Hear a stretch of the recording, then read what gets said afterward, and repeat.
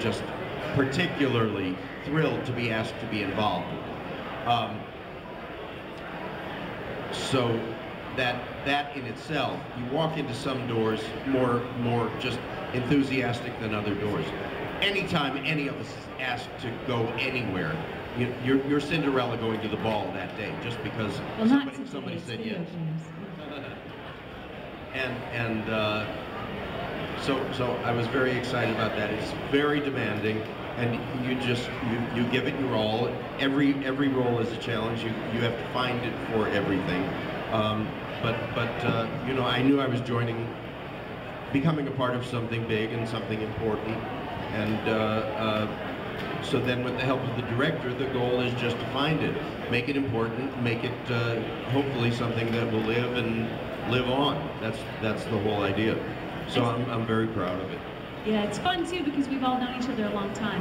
I mean, that franchise has been around for a long time. David, David Hayter and I, we've been buds since like '95. He was Captain America and I was um, Black Cat on Spider-Man. So it's it's nice to be with your. I mean, we all know each other, but it's this has been going on a while. You know, it's great. That's a fun aspect of it.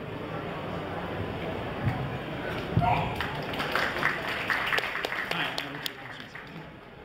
So, like, when you're given a new character for a video game, what is your like thought process right before you dive into the character? I think it differs for everybody. in every character, I think. Um, first of all, you want to gather as much information as you can. It depends if you know it's a project that's going to go on for a really long time, and hopefully you know a few days ahead that you're doing it. You can start figuring it out. You can't figure that much out ahead because once you get in the room with the director, even if you've come up with this great voice and all of this stuff, it's it's not just about my, me deciding on a voice. It's what's going to work what the director wants, all of that. So I think if you are able to envision the character and then be open to whatever comes up in the session, um, a lot of stuff I have, I just Uh, find out. Avatar? They say your book today. I go in, they tell me what it is right when I get there, and I don't have a lot of time to think about it. We just start. So. For me, the whole deal is the collaboration. You go in with your ears open, your mind open, and uh, you, you embrace the fact that you've been asked to be part of this team. You, you sift all those elements around in your head and you make it all that it, the Army got the logo, but be all that you can be. You just, you, you do it, be it, eat it, sleep it, drink it, and spit it out, and, uh, you know, make it work. I go back to the writer. I, you know, that writer wrote something and envisioned something, and my favorite thing is that it is not about me at all. I am irrelevant, I am invisible, except as a little thing to draw from my experience to pour it into this role. And everybody does it differently. Some people, I hear about different people's acting techniques on some of the panels that I've done, and it's fascinating to me. You have to find what yours is, and the way you do that is just start jumping into projects for free, for money, who cares? Jump in, do your best, start finding out what works for you, and listen to people you respect. Watch people whose work you respect, and, and start pulling those tools that work for you. I figure I'm getting paid to play. I'm doing I'm doing what I love. I've been allowed to do what I love my entire life. I still haven't decided what I want to be when I grow up, and if I put it off for another few years, I'll be in my second childhood, and who cares anyway? Um, I have just one quick, one last quick question for Jennifer Hale in particular. So your work with Bioware most often um, has you um, involved with characters that are kind of two-sided, like you're kind of playing Commander Shepard, but you know two different versions. So how is that? Like, like what what is your experience there? Um, my answer to that is always like you're the same person, right? You might wake up and have a pissy day where you're like, nah, and that's renegade you. And then you might wake up another day and go, you know, I really got to do the right thing, and then that's Paragon you. But you're still you. The foundation is the same. When you record something like those Bioware games, like especially Mass Effect, someone could choose a Paragon response in one moment and then a Renegade in another, or a default, and you, it's got to flow when you listen to it. So I'm still the same person. I'm just going to lean this way, or I'm going to lean that way, or I'm going to go straight down the middle. Yeah, but when they um when you were recording with um Bioware, did they have you like one day just do like all like the Renegade Shepard, No. or are you just going back and forth? Like, It is all the story's going on? mishmash mosh. Oh, okay. Because it's it's not about the actor. I always say we're the ink that comes out of the tip of a pen. Look at a dot of ink on a paper, okay? And look at the size of the pen relative to that. The size of the pen is the mass of people who go into making that game that are not the actors. We are just sort of the final touches. Some of the final before they go to make the final touches. And um, my job is not to ever object to anything they give me in terms of, ah, can't we do this all together? Can't we do that all together? No. My job is to drop in the moment and give them exactly what they need in that moment. And if we're at one point in the script, this line, and then two seconds later we go back to this point in the script, and we're in one mood over here, and we go back to this mood over here, and then something completely different happens. That's my job, to accommodate all that and to make it ring true. To drop in and believe it so that you can when you play. Okay. Thank you. Hi, I'm a tremendous Eternal Darkness fan, so my question is for Miss Jennifer Hale. Um, they're working on a new, they're working on a new, like Eternal Darkness game, the Shadows of the Eternals. You might have heard about it. Um, if they asked you to come back, would you take part in it? In a hot second.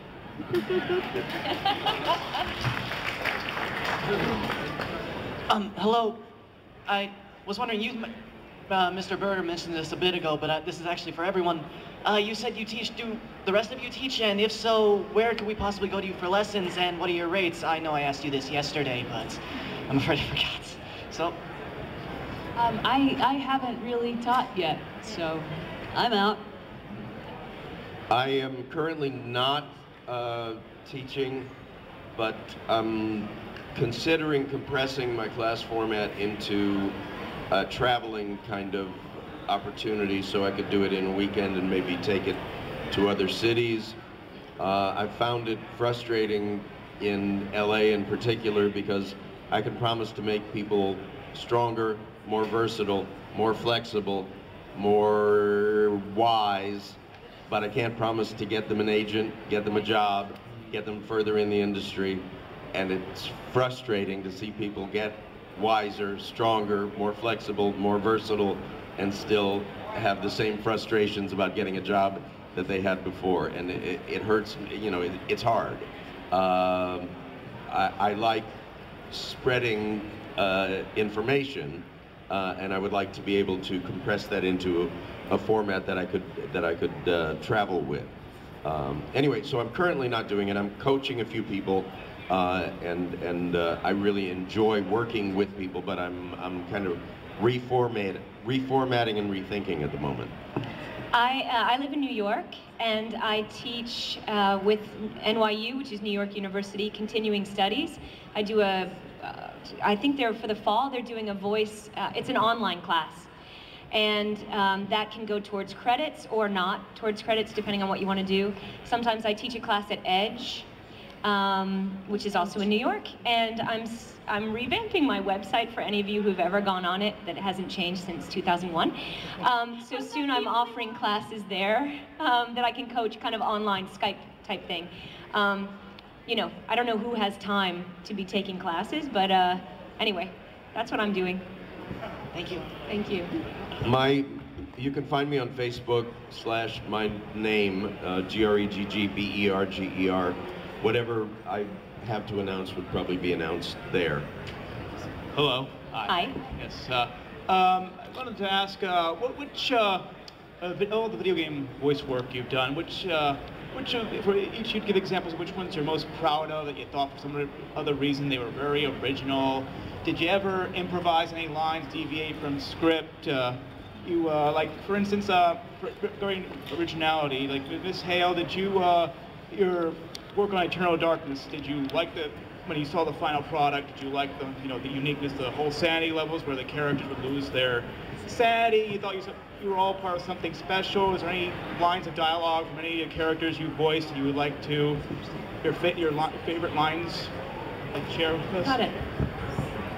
Um, specific reference to Eternal Darkness, one of my favorite things about that was uh, there's been an evolution in game acting where in when it first started, we sort of had to push it a little bit, little little sort of theater-ish in order to overcome some of the obstacles of the visuals. And as the visuals have gotten better, we're allowed to sort of drop back to more like film and TV style acting where you just drop in and you just are it. And Eternal Darkness, I remember, was one of the first games where I could really just drop back a little bit and let it sit, which is my favorite way to do it. Um, and then, what was the first part of your question? It was Oh, anything you're proud of? proud of. Oh God, everything. Um, I, I'm proud to. I'm excited that I've been able to work. Hey, that's awesome.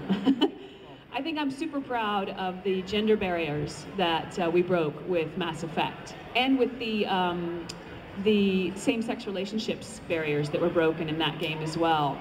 Super, super proud of that. Yeah. Uh, in particular, the return of Grimlock to Transformers: Fall of Cybertron. No question about it.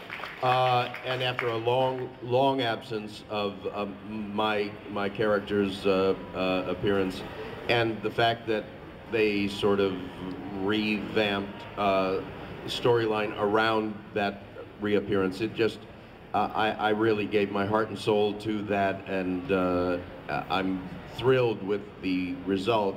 And apparently, so are players. It's it's it's quite an extraordinary game. Um, I I sometimes take liberties in the booth because it's a, it's really tightly structured and approved, and every line of a game matters. I sometimes will clown around with characters who are clowny within games, and and because you're doing multiple readings of lines, I'll always do it as written, but sometimes I'll have a little bit of fun when there are multiple readings of a line. And usually in a in an interactive game setup, there will be most of the uh, voices of our, concerns. Most of the people who have who have approval are in the room. A lot of people fly down uh, for interactive gaming recording sessions, and sometimes they'll they'll just like the fun of a read, or it'll be uh, it'll be catchy enough that that there'll be a quick conference, and they'll they'll like something as as sort of toyed with or played with. Uh, some often not, but but sometimes within a line that doesn't matter, you can you can mess around a little or have a little bit of fun with. That's that, that's actually something I, I forgot to address. There's some some games are recorded in a way where technically you cannot deviate often, a often. syllable, like not a letter. And then other games, like when we worked on uh, Bioshock Infinite, we had the director on Skype and um, we got to sort of mess with it and redo it and rework it. So it runs the gamut. It has to be, a, there's a series, a chain of command, it has to be approved. Everything has to be approved uh, because sometimes they're, they're generating uh, uh, a, a uh, subtitle or whatever. So every word has to be approved, every syllable has to be approved. Uh, but sometimes there's some, some flexibility. And it's fun to get something more contemporary or a little bit of not not profanity, but slang that just sort of contemporary slang that gets through. That, that feels good. It's fun if it gets approved. Um, but uh, same answer. I'm I'm proud of everything I've ever done. I really I love my work, and I hope my work loves me. I love creating characters. My my answer is so shallow. I'm working on a um, a video game where I'm the the woman telling you about driving your car and the car races, and I love old cars. So it's been really fun for me to be like talking about cars, talking about fixing cars, you know. Um, and I've got to go to all these in my mind to all the great places where all the Grand Prix are and all of that. So that's so shallow, but it's been super No. fun. Top so Gear, fun. Top Gear, BBC yeah, Top Gear. Awesome. So, Thank you. do you want to just before we part, do you, want to just do you want to just uh, any favorite lines you want to quote right now from your characters from any of your works before? I should go.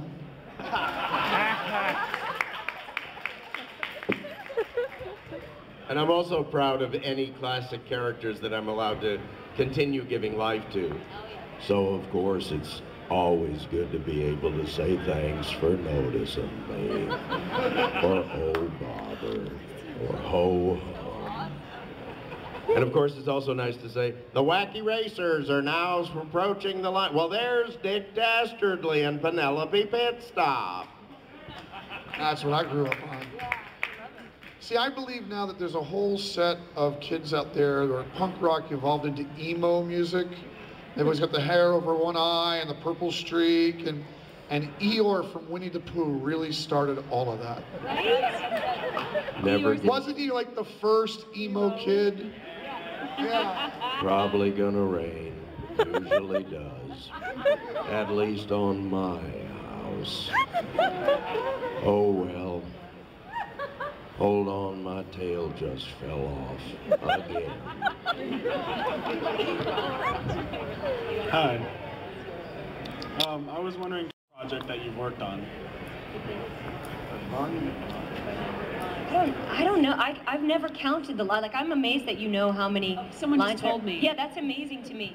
Uh, In a way, it's almost like, I don't ever think of it like that. Like, you go in and you're either booked for two hours or six hours or how many days. And so I don't really ever think of it as in terms of how, See, that's funny because I walk in, Same. I, I don't know. I walk into a session uh, when it's a big volume game like that, and it's only on games where I know we have a massive volume. Yeah. And I walk in, the first thing I, after, because I know the character, I know what's going on, I say, what's our load today? I want to know how many lines we have so I know if there's, because sometimes chit chat happens in between, or Right. I need to go pee, or I ran out of water, and I always want to make sure I don't shortchange the session. Like we get everything done we have to. Like if I hear we've got 250, eh, we can chat a little, we can do this, I can digress. If we've got 400 lines to get done or 500 lines to get done, there's no talking, there's no nothing. There's just yeah. buckle down and do it. So I can understand what my pacing is for the day. That's what I know. So. Yeah. Hello again, again. Um, Hello. have there ever been any roles that, this is a question and a comment. Uh, Question, and have there ever been any roles that you auditioned for or that you were really excited to get and then when you found out you didn't get it, you were happy for the person who did get it, but you were just bummed like, oh man. Oh yeah. Always. Oh totally. Are you kidding? Yeah. Yeah. I pretty much want every role that I audition for. So I, I love working. And um, so yeah, I, but at the same time, you have to be able to let it go. Oh yeah, You and can't- I, I have so much respect for my peers that I, there was one series where I had such a great audition. I was like, oh my god, that felt great. You never know. I And actually- I didn't hear I didn't hear a word, and I was like, what? How could that? That was so. And then I found out who got it, and I'm like, oh my god, she's perfect. She's perfect. Know. I really like the second part of the question best because I, I think it gives us a chance to talk about how much respect there is actor for actor in the voice community. Not like the on-camera community, which I also function in. Uh, and I'm not saying there isn't in the on-camera community. It's just so much different in the voiceover community where, honest to God, there can be 15 or 50 actors called in for a voiceover role, and if it's the real upper echelon working community, all 15 or 50 can be castable, be can great. be can be right. Yep. And maybe it's a flip of the coin, or maybe one person is better this much for that application for that that role, but not because the other 49 or 14 or whatever were in final consideration were wrong, but I- just because that one person was righter, or maybe it was a, a coin toss. There's such a great talent pool. Uh, I call it kiwis and tangelos. there you go. Someday you're in the mood for a kiwi, someday it's a tangelo. seen stuff on the game disc. It shows some of you guys paired off. I mean, did you get to meet them? How were they like?